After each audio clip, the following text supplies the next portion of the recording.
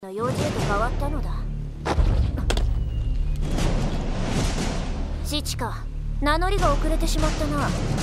私は咎めという。巨頭流七代目当主ヤスリ七か虚しい刀の流れと書いて巨頭流。刀を用いない闇の流派。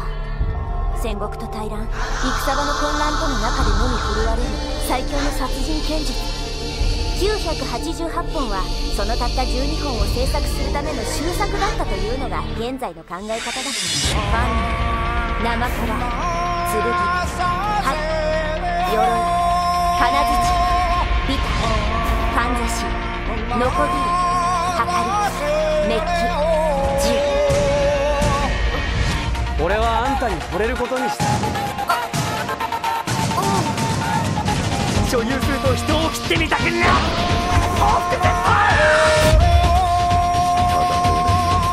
何かを守りたかっただけだ。戦闘流12代目当主敦賀明斎だ。